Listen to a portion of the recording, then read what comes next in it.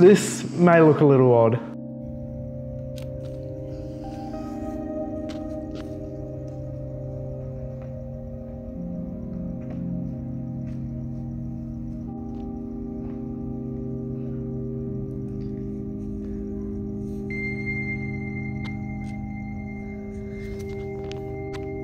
Oh my goodness, that looks sick.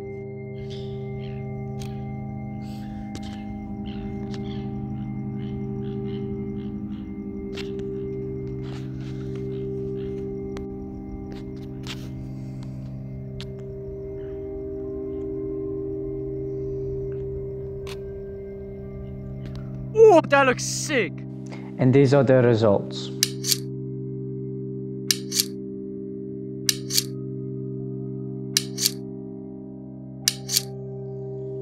This is a photography technique called light painting. You may have seen it before in the form of steel wool photography, one of the most common forms of light painting. To take photos like the ones you just saw, you're gonna need the following. A camera with manual settings, shutter speed, aperture and ISO, a tripod, and optionally a shutter release. The result of these photos relies greatly upon your shutter speed. If you're watching this video, you most likely have a basic knowledge of shutter speed and its impact on photos, but if not, here's a simple explanation. If you've ever played with a sparkler, you may have noticed that when you wave it really fast, it leaves a trail. This trail doesn't actually exist, but is a result of our eye shutter speed. Our eyes have a shutter speed equivalent of 1 100th to 2 100ths of a second. This means that our eyes basically don't see light, but instead consecutive images which were each taken over 1 150th of a second. The exact shutter speed of our eyes varies depending on age and other factors. Whilst our eyes see at about 1 150th of a second shutter speed, our cameras have a variable shutter speed. When we increase the shutter speed, the trail of the sparkler becomes shorter, as the image was taken over a shorter period of time. When we decrease the shutter speed, the trail of the sparkler becomes longer, as the period of time also becomes longer. When doing light painting, we'll decrease the shutter speed to anywhere between 8 and 15 seconds. This will leave an extremely long light trail. A light shows up in the final result because it is bright enough to expose the sensor. The person moving in the background does not show up as they're too dark to expose the sensor. There are many issues we must regulate to produce a clean image. The subject must stay completely still, otherwise they'll be blurred in the final image. Also, the person doing the light painting must move slow enough that they don't show up in the final image, but fast enough that the light they're holding remains bright. Now that you know the basics about shutter speed, we're ready to get going. Okay, so we're here on location. We're about to take some of the photos that we have been talking about previously. Uh, let's get going. Ready? Go. Three, two, one, go.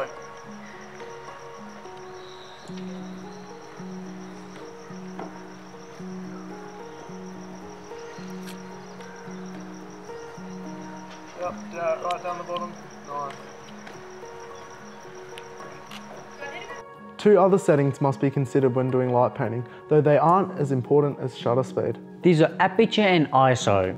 We won't go into detail about these settings, but we'll tell you approximately where they need to be. To take these photos, you're going to need your ISO as low as possible. On your camera, that's probably ISO 100. This will allow us to have our shutter open from anywhere between 8 and 15 seconds without having an overexposed final result. With aperture, I always begin with it wide open. On the lens that I have that is f4.5. Now you have your camera close to where it's meant to be. Shutter speed, anywhere between 8 and 15 seconds, depending on how long you want your light trails. ISO 100 and your aperture completely wide open. Now take your first image. If your image was underexposed, bring your ISO up, maybe to 200 or 400. Keep doing this until your photo is correctly exposed. If your image is overexposed, make your aperture narrower. This might be f9 or f10. If you did this correctly, your final image will be exposed. One more factor that will influence your final result is your file format. If you plan on editing these photos in Adobe Lightroom, you must have your camera on RAW. If not, disregard everything I just said and you can leave your camera on JPEG if that's what you prefer. RAW files is just files with more information. So if your image is slightly underexposed or your shadows are a bit too dark for your lighting, you can easily correct this. With JPEG, not so much. But remember, no one nor any Lightroom setting can fix an overexposed image. Okay guys, we just finished the little photo shoot and you guys are going to see the results right now.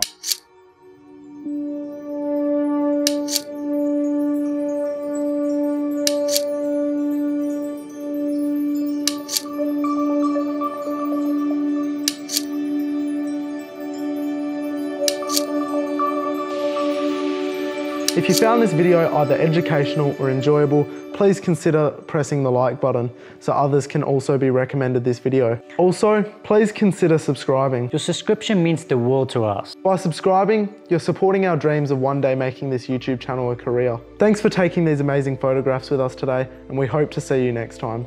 Cheers.